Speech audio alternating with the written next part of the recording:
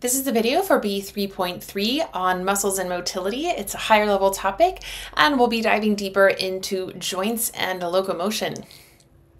And here's a great connection to your Lang and Lit class, right? So the antagonist in a story is someone who's doing like the opposite thing as the hero, right?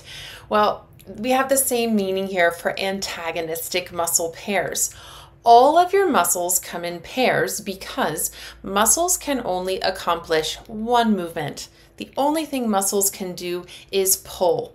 So for a muscle to pull, it can go in one direction, but if you want your joint to move in the opposite direction, you need a muscle that will pull in the opposite direction.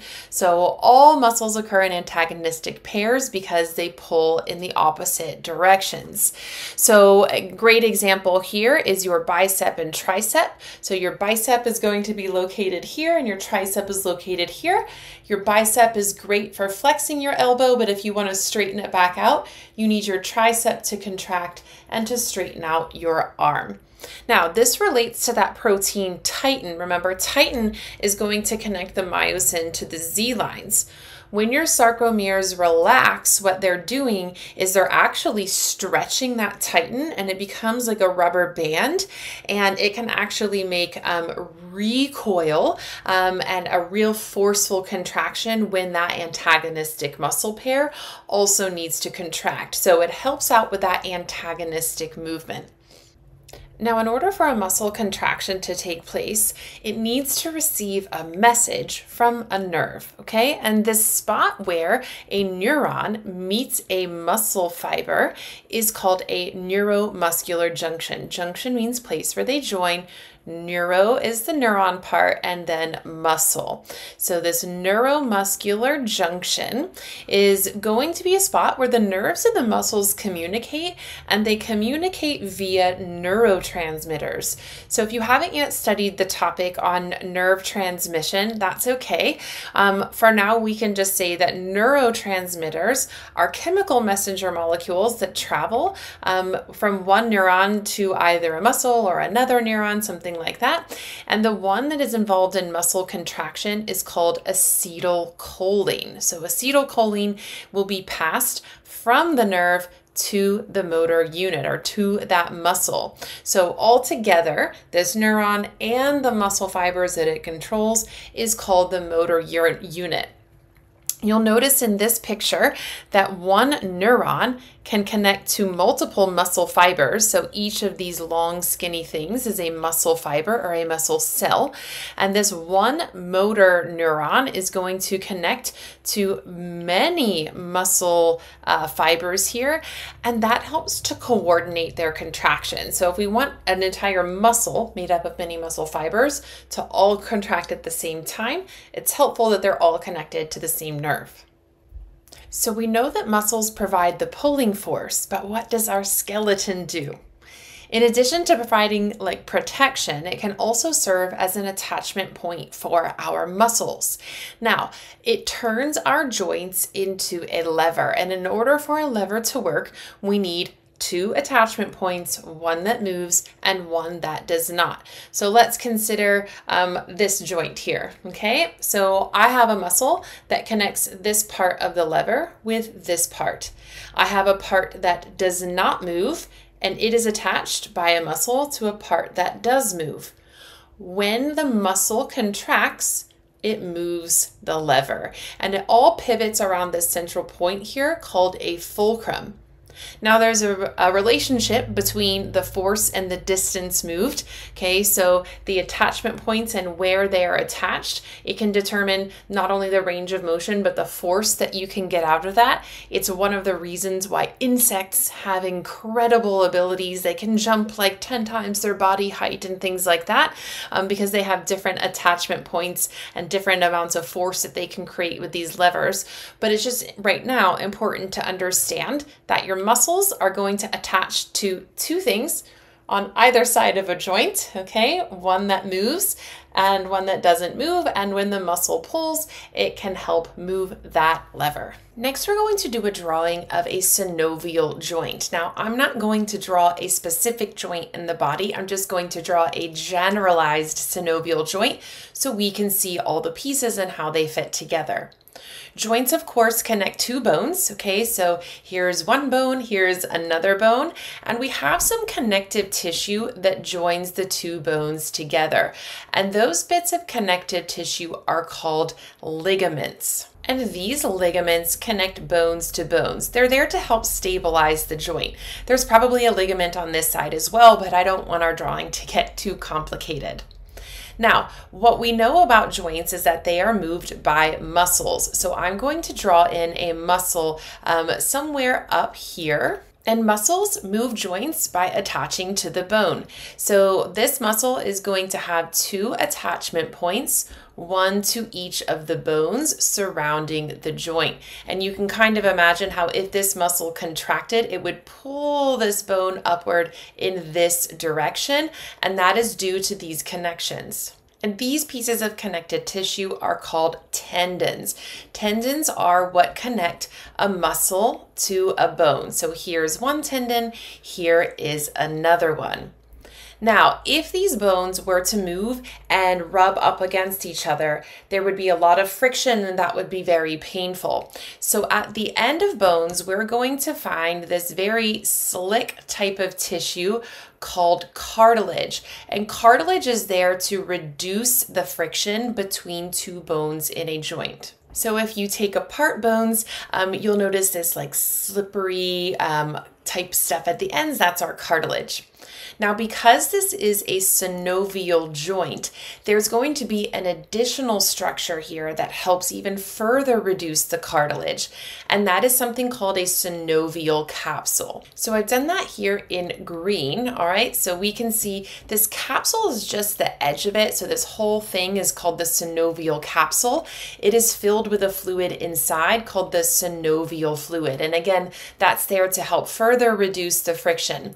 So this isn't a realistic or complete picture of any particular joint in the body, but all synovial joints are going to have these components. It's going to have bones, muscles to move the bone. There would also be a muscle on this side because muscles come in antagonistic pairs. This muscle is only capable of flexion. I would need another one back here capable of extending that joint. We're going to have ligaments that connect the bones together. Again, tendons that connect muscle to bone. I should be finding cartilage and synovial capsules and fluid to help further reduce that friction. All right, so let's talk about a couple different types of joints. There are several, but we'll only highlight two. One of which is called a hinge joint, okay? And so this is a joint that's very stable, but it has a relatively limited range of motion. So kind of like your elbow, or here I have a knee. this knee can either extend or it can flex, but it can only go in that one direction. So again, um, very stable, but limited in its range range of motion. That's going to be different than a ball and socket joint.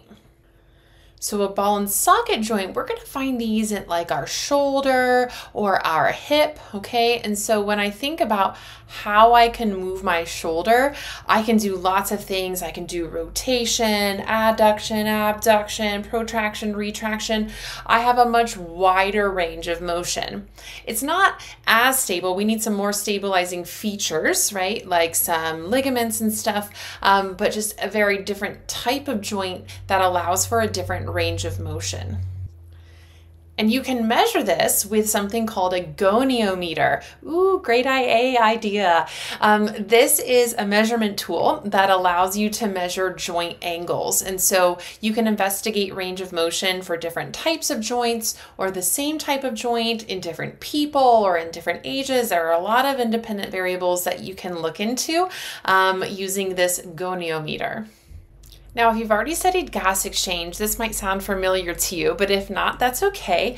We're going to talk about an example of an antagonistic muscle pair, and this example comes from our intercostal muscles. So, inter means between, costal refers to your ribs. So, these are the muscles that are in between your rib bones, okay? And so they'll be right in here, and they're actually in the same spot, but they're oriented in a different way way. So we'll refer to them like this. So we'll have external intercostal muscles, which I will abbreviate with an E. And then we will have internal intercostal muscles, which I will abbreviate with an I. So if I say I, I just mean internal intercostal. And so they um, accomplish different movements. When we are inhaling, what's happening to our rib cage is that it is moving up and out, and that is going to cause it to expand. So that rib cage is getting bigger, okay? And that is due to the contraction of our external intercostal muscles. They are um, contracting to really open up that rib cage. When we are exhaling, what we want to do is we want to make that um, rib cage move inward, okay, and down, and that is going to make your rib cage um, smaller. Okay, so okay, something like that. And that's going to be due to the contraction of your internal intercostal muscles. Aside from breathing, there are lots of reasons why organisms might utilize this idea of locomotion. So remember, locomotion is the movement of a whole organism. Not all living things can do that. Motion could refer to just movement within an organism, but locomotion is kind of special actually. And so this might be like anything from finding food, getting away from predators, finding a mate, migrating, lots of different reasons reasons why organisms would have evolved the ability to have locomotion. And we'll wrap up this video with some special locomotive adaptations for animals whose common ancestors lived on land, but now these current species live in the water. So we're talking about marine mammals, whales, dolphins, things like that. Okay, so they evolved on land, but now they live in the water. They need special adaptations. One of which is they have a streamlined body shape. So you can kind of see that here, okay, that they're not going to meet a lot of resistance from the water as they are swimming through it. So that's very helpful. You'll notice that they've um, kind of gotten rid of most of the hair or fur on their body to reduce friction as they're swimming through the water. Water is a lot more viscous than air. So animals that live in the water um, need to have adaptations for that. They also have a very different airway system. In your ventilation system, your mouth attaches to your lungs. And that's good. We live on land. Everything works fine there.